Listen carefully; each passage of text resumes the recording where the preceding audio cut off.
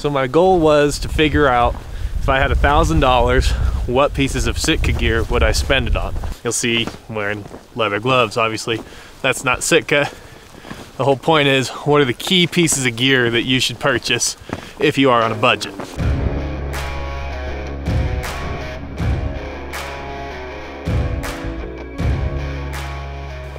I did a couple laps just up and down to get my heart rate up.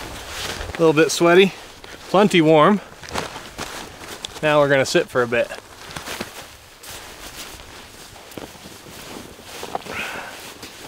One thing I've definitely learned is that insular or being warm isn't always about insulation. Things like a butt pad will keep you a lot warmer, especially if it's wet out or snowy, rather than putting your butt straight on the snow. That's just gonna suck heat right out of you. Just bring a butt pad. They're cheap, they're lightweight. Makes a huge difference though. Another thing a lot of people do is take off their backpack and bino harness. When they're in a cold sit, that is a mistake because both of those things will keep you warmer as well. So I'll sit here with my pack on for a good while and see if I can stay warm. You can't see a thing. This was dumb.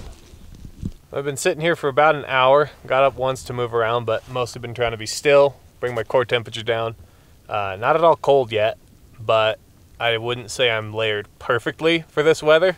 I gotta head back to the office and get back to work, so I'm gonna do the rest of this video in the studio. I'll cover everything that I'm wearing, so keep watching. So like I said, I wanna talk about purchasing decisions. More specifically, what I would buy if I had $1,000 to spend on Sitka gear.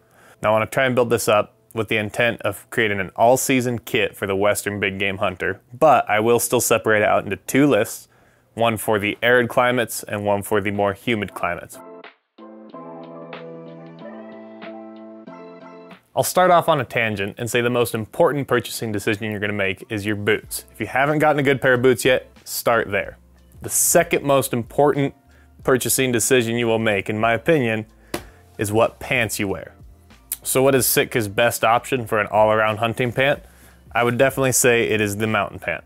Uh, you, if you read reviews, everyone kind of agrees that the mountain pant is a solid, middle of the road, works for your early season hunts, if you layer properly, it works for your late season hunts as well. The fit is slim, but not tight. There's plenty of length in the legs. It's got removable knee pads, which are a little big, but also provide plenty of coverage. It's got nice quiet pockets, low profile belt loops. Overall, it's just a nicely laid out pant. It's gonna cut the wind, it's gonna keep you a little bit warm, but it's also gonna breathe really well. So that's important on those hot days, especially when you wake up, it's cold but midday it's gonna get into the 80s, you're gonna want something like this on your legs. Now the mountain pant earns every compliment that it gets, but my personal choice would probably be the Timberline pant. It's gonna work a little better for those late season hunts because it's got reinforced and more waterproof knees and butt. Both pants work for an early September elk hunt. Both pants will work for a late November mule deer hunt. So it's really dealer's choice. But since this is a budget video, we're gonna go with the $50 cheaper mountain pant. Now we'll move on to the upper body and we'll start with the base layer. I ended up going with the Sitka Midweight Crew. And I'll start this section out with a bit of a controversial opinion here.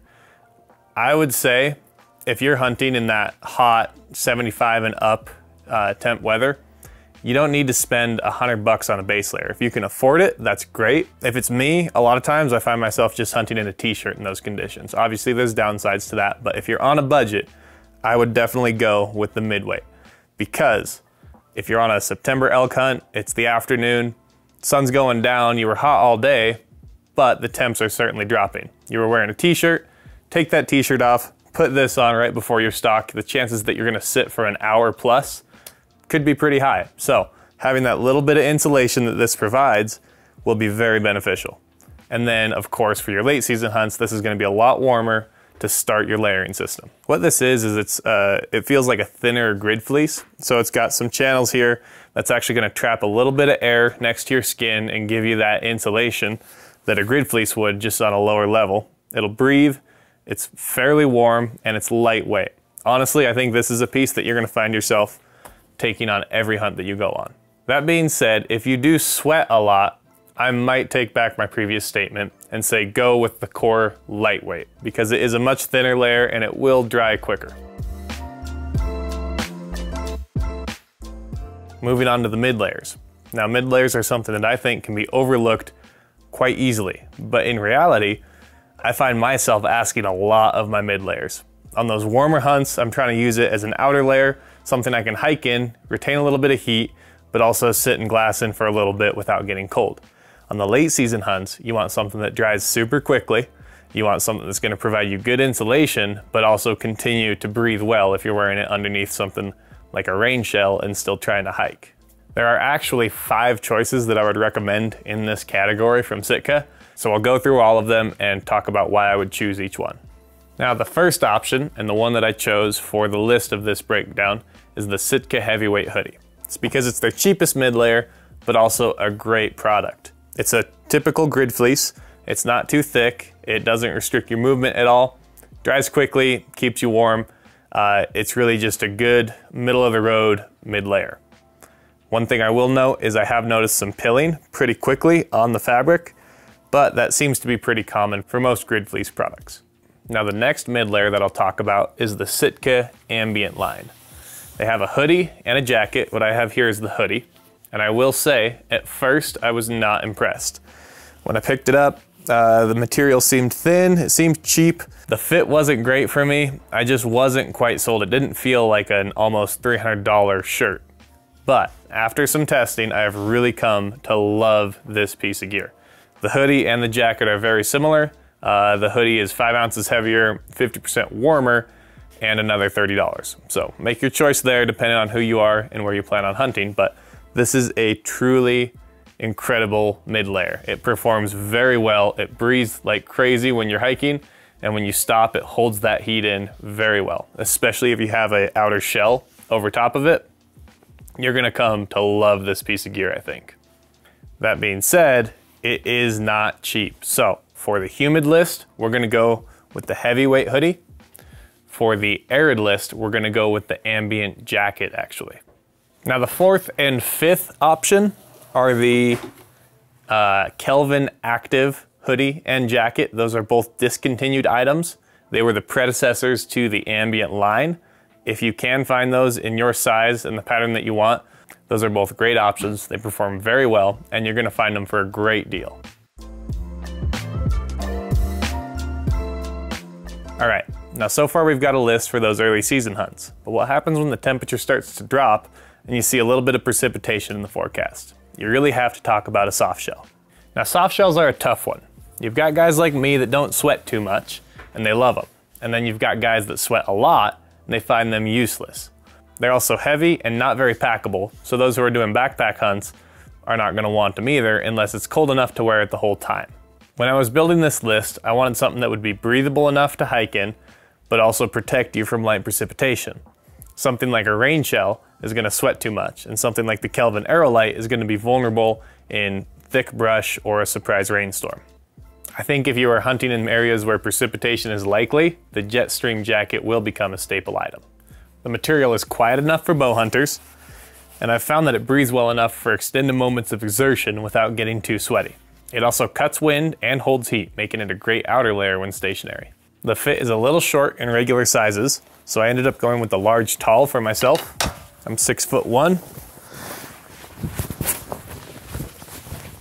And I found it to be perfect. There's plenty of room in the arms, but there's also enough space in the chest to layer something like the Kelvin Aerolite underneath and allow it to loft well and not be too bunched. As much as I love this jacket, if you are doing a backpack hunt or you sweat like crazy, I might recommend skipping this purchase and going for something like the Dew Point jacket something that's gonna be a rain shell. It'll protect you more in heavy precipitation. And when you're hiking, you probably just won't wear an outer shell. I'll also add a little personal experience and say that I didn't wear a soft shell on most of the hunts that I've been on the last couple years, but when I do need it, it's an irreplaceable piece of gear. So it's kind of specific on when you would use it, but it is very important. If you're hunting in a more arid climate, you can probably skip that purchase, but if you're hunting somewhere where precipitation is likely, I would strongly consider the Jetstream. If you're hunting out west later than September, you need an insulation layer. Sitka currently offers two packable insulation layers.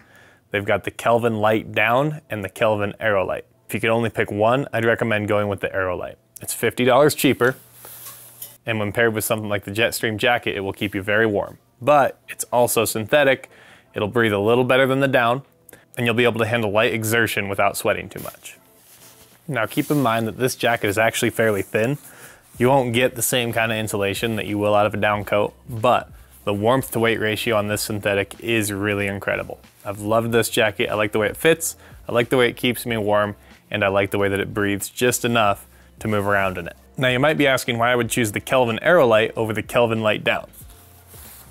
The reason is I didn't really fall in love with this jacket because of the noise.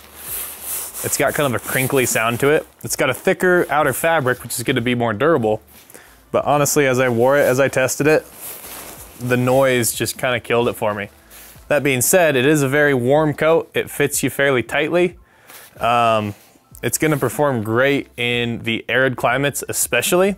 Whereas in a humid climate, you might want to go with a synthetic just because it'll hold heat better when wet and it will dry a little bit quicker. Now for the sweaty guys who opted out of the Jetstream jacket, I'd recommend going with the Kelvin Lite Down. The reason is, neither of these coats are going to be breathable enough for you to hike in, and the Kelvin Lite Down has a better warmth to weight ratio. If you're hunting in arid climates, I would also recommend going with the Kelvin Lite Down. So we've got pants, base layer, mid layer, insulation, and an outer layer. The one thing we haven't talked about is rain gear. That's because rain gear is gonna run you upwards of $650. If you want a budget option, you cannot beat something like this. This is a $25 poncho. I take it on trips from Arizona to Alaska. If you got heavy precipitation coming, this over a soft shell like the Jetstream is a great option. This over uh, actual rain gear shell will keep you real dry for those long backpacking trips when your gear isn't gonna dry uh, day to day. And then something like an Arizona hunt where there could be a surprise rainstorm, this is a lot lighter weight and a lot more packable than something like the Jetstream. It looks a little goofy, but I'm telling you, it really does work. It'll keep the wind off of you when glassing, it'll keep you and your gear dry, and it's small, affordable, and lightweight. You really can't beat it. The link to this is gonna be in the description. So we've got the humid kit coming out at 1181 and the arid kit coming out at 991. The whole point of this video though is to be at that $1,000 range. So if there was one item that I had to cut off of the humid kit list, it would probably be the heavyweight hoodie. The reason for that is you can likely find a good substitute um, just a normal fleece at your thrift store, something used, and wear that until you can afford to bump up to a truly special mid layer such as the ambient. And please keep in mind this list is my best suggestion. Everyone has a different body type, everyone's hunting in different conditions. If you have questions, give us a call, leave a comment below. We'll be able to help you out here at Gear Fool. And if you call us on the phone, we'll be able to walk you through your own customized list and be able to give you an incredible deal on a custom order. Don't be afraid to drop a comment and don't forget to like and subscribe. Thanks for watching.